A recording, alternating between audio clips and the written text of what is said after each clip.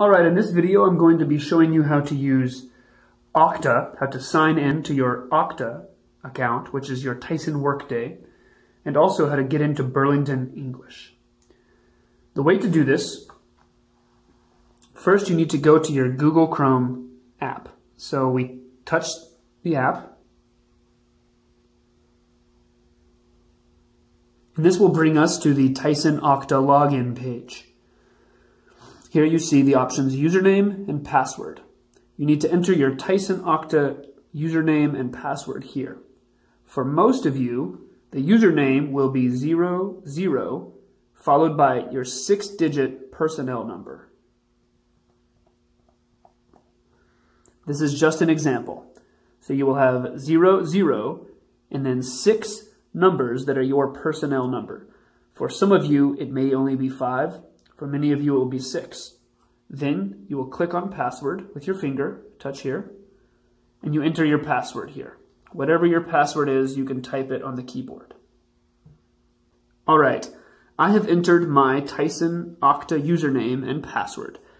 This is an email address. It may be different from yours, but these are my Tyson Okta username and password.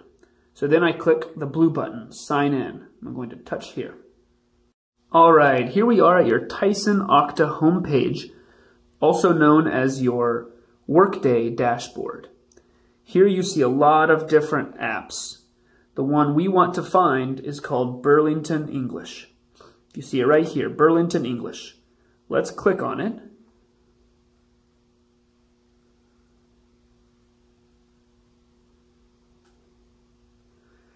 The first option I see is whether I am using Burlington English at school or away from school. So if you are at the plant in class, you are going to click at school. If you are at home and you are connecting to class to see your teacher, you select away from home. For right now, let's say we are away from home, away from school. We are at home. So let's click away from school. And here you see the different options. You will go to courses, you touch it, and now you can select the level that you are up here, and you can get into your Burlington English material with your teacher.